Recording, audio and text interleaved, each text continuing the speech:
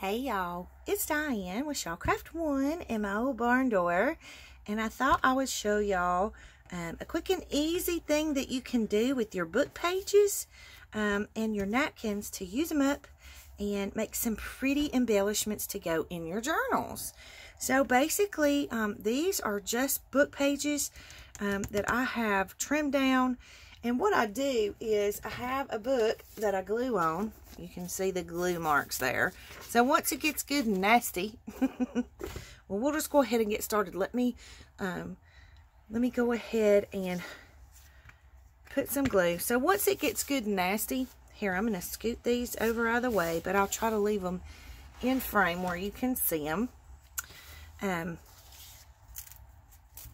so once it gets good and nasty like this, and it's usually all kinds of sticky, then I'll just go ahead and I run my glue. And I usually, to save on glue, um, I usually just run it over the word parts because I'm not going to use the edges. I'm going to trim those off anyway. And then, so I just glue it and then I'm just going to fold it over. Oops. And try not to tear it. and I'm just going to, you know, burnish it down real good so that it's stuck together good. Okay. So then I'm just going to trim around the edges. And hang on, I got to grab my, my scissors.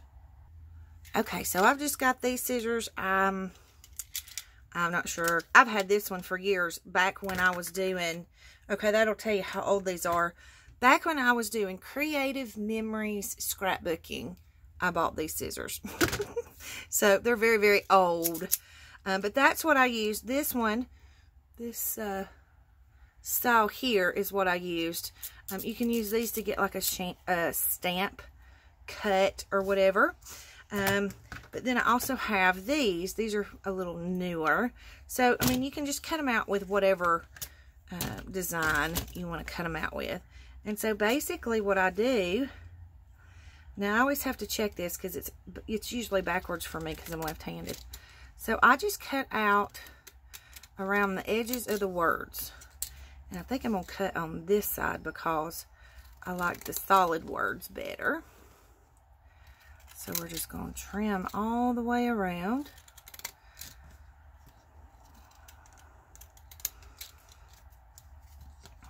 And then I'm just going to trim it up the middle so that I can get two out of this. Okay. So now we can get rid of this. And then we have two little pieces, and they don't have to be the perfect size. I am going to trim, though, um, I'm going to trim the top edge just so that it all looks the same as far as the cut of it. So let's trim the top edges.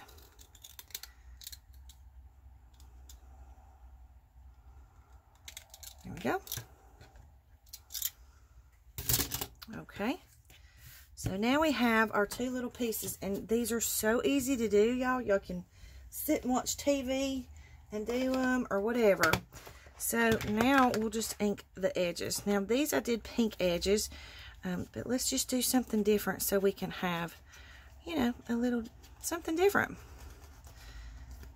A little variety.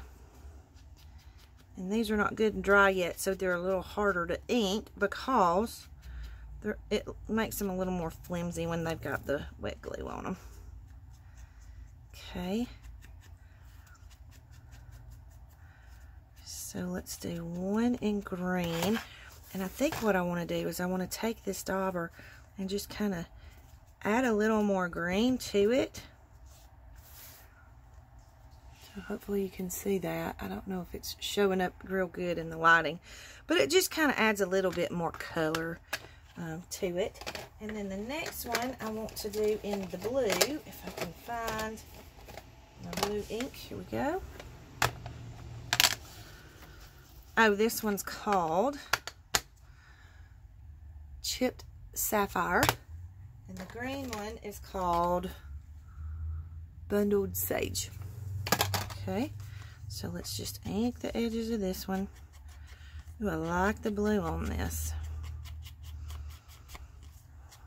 And again, it's a little bit harder to ink it because I've got ink all over my hands. So y'all just have to excuse my messy hands.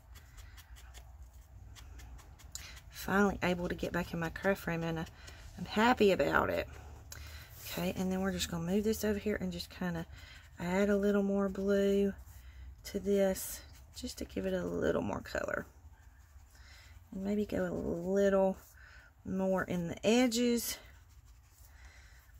And I like to have the shadows in the corners, so to speak. Kind of like that. Okay.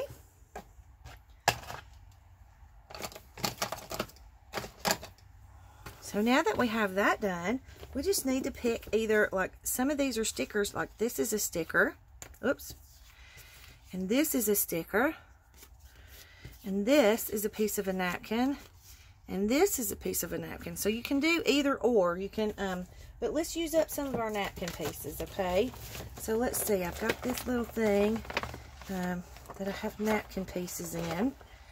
And trying to find one that's got something smaller on it so that it will be easier, you know, because you want the smaller things to go on your, okay, let's just do, well, I thought I had some butterflies in here. I used a, a, a bunch of them. I used a bunch of them up because I was trying to do these projects. On. Okay, let's use this one.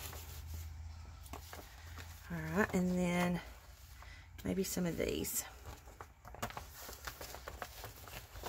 Just make a decision, Diane. oh, you know what, though? Okay. So, we just want to have something pretty on here. And so, I like the yellow at the top that says wildflowers are pretty. So, let's just go with that and see where we get with it.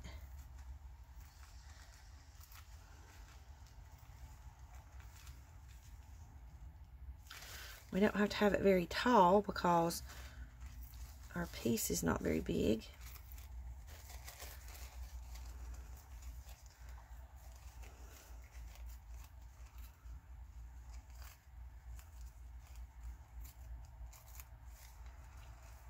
Okay, let's see.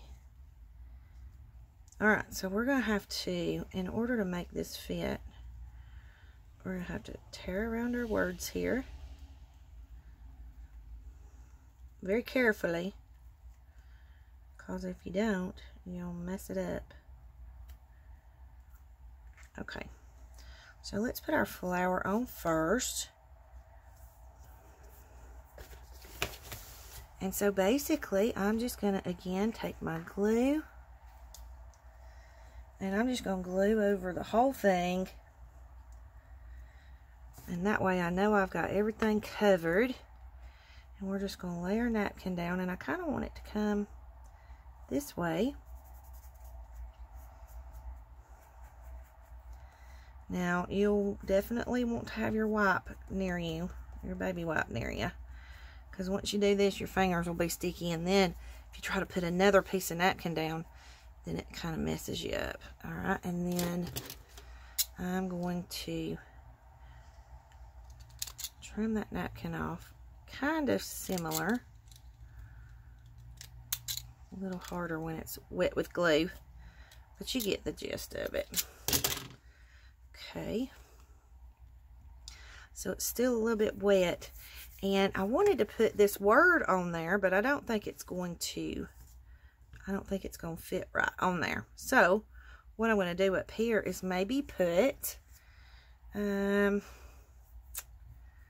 a word of some sort. Let me see what I can find. Okay, sometimes you can um, find these little, you know the little strips that are on your paper packs or your pieces of paper that tells you what the name of the pack is. But I think that would be cute on there. Maybe sideways somehow. So I think what I'm going to do is just tear that little truck off because we don't need him. And I might try to tear the edges of this because I would rather it not be squared off. So I'm just going to very carefully tear around this.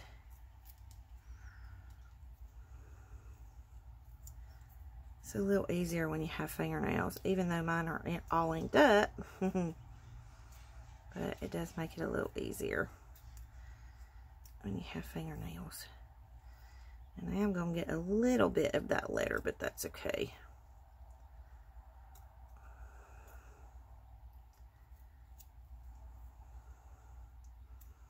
There we go. And then I'm just going to ink him up. Whoops. We don't need the red ink pad. So I'm just going to ink it up with the same green that we inked around the little stamp with. And then probably just going to rub that over that a little too so that it's not so stark white. Okay. And then we can just add him right there with a little glue.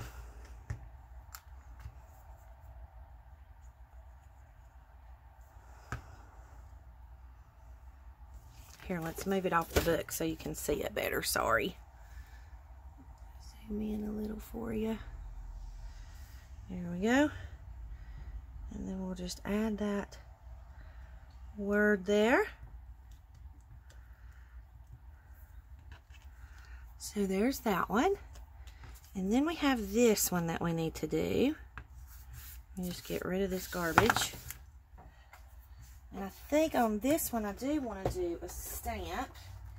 And I'm thinking I want to do this little bumblebee stamp that I have. I bought it and I've never got to use it and I just think it's adorable. So um, I'm just trying to decide. I think I want to use black ink. Uh, let me grab my black ink one second. Okay. So this is just Ranger, the archival ink, jet black. Okay.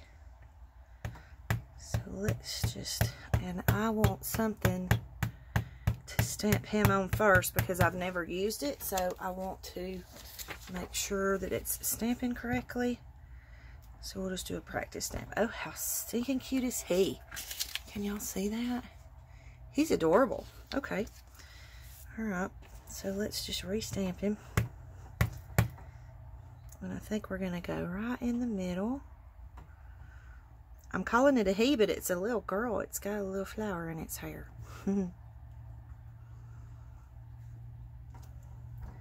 so stinking cute. Okay. Let me move some of these napkins and stuff out of the way because I tend to get too much stuff on my desk and then I have nowhere to work. And then I get irritated and walk out. do y'all do that? okay, got that put up. And now I think what I want to do is color this a little bit. Where are my colored pencils? Hang on. I just want to do colored pencils. I'm not an artist, and I don't have all kinds of markers and pens. Well, I do have a boatload of pens, but they're just regular normal pens. They're not like the artist pens or anything like that. But I do have this. How stupid is that? A whole box of... My husband brings home 40 pens from his practice. And I think that my colored markers are at the bottom down here. Okay, sorry, y'all. That was driving me crazy. I had to organize it real quick because I couldn't get to my colored pencils. Okay, so let's just go here and we'll color the heart. And I just want little bits of color you know, I don't want them to be real dark. So I'm just going to color him in with the pink. And then I want a deeper yellow, if I can find one.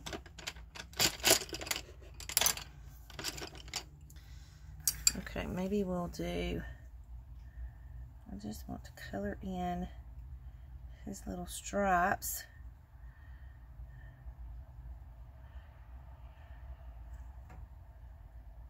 Hopefully my head's not in the way.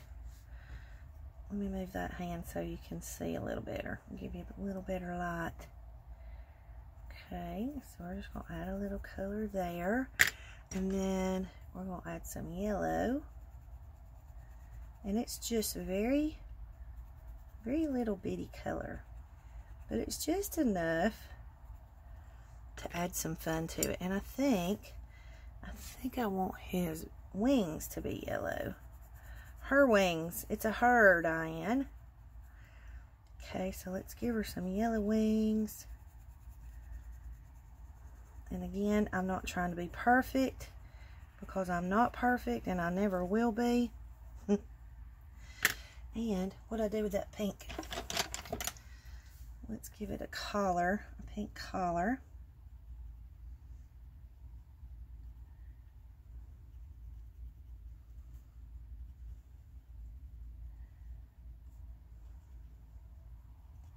But these are fun to do just to, um, you know, just to do one while you're sitting watching TV. And then I think I just want to add a little bit of green here to the face just to give it a little bit of definition.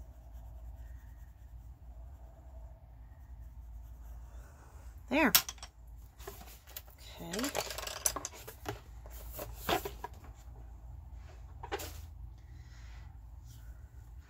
So there's the little bumblebee.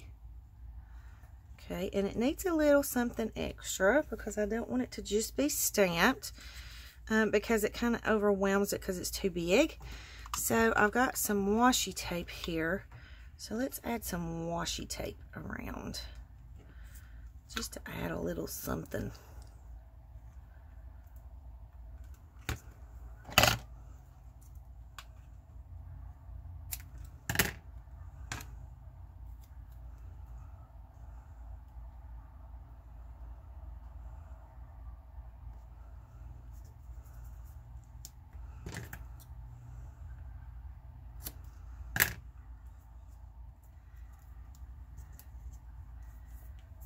Okay, and then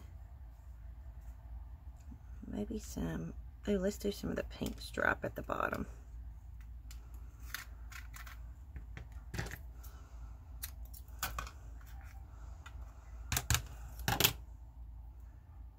I got that little washi tape dispenser at um, Walmart. And it was full.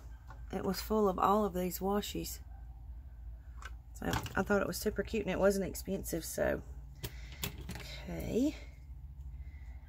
We're going to put that little pink stripe down there. And then I have some thinner washi. Because I want to do a little bit of extra something at the top there. I have some solid thin colored washi that I want to add right there just to kind of lighten that up a little okay and so there you have cute little bumblebee okay so there is our two little and these are just super cute little pieces that you can use use up your book pages, use up your napkins, you know, play with them while you're sitting in front of the TV at nighttime watching your shows or whatever. Um, and then I'll show you what you can do with them. Lots of different things you can do with them. So you can add them on a page. You know, you can put them here. Oh, let me zoom back out. Sorry. Hello. I am so sorry about that. I did not mean to shake y'all like that. Okay, so you can add them to the side of the page and make it like a little tuck so you can tuck a little piece of paper underneath like that. You can make it a little pocket. You can make it, um, you know, just a decoration on the page. You can actually, um, for like some of them, like this one, would be cute to fold it in half and make a page tab with it. And then you got the little butterfly wing. You can even do that with the florally ones. So lots of different things that you can do with these, but it's a good thing to do while you're sitting around kind of, you know, not being able to do a whole lot, like you're not able to be in your craft room.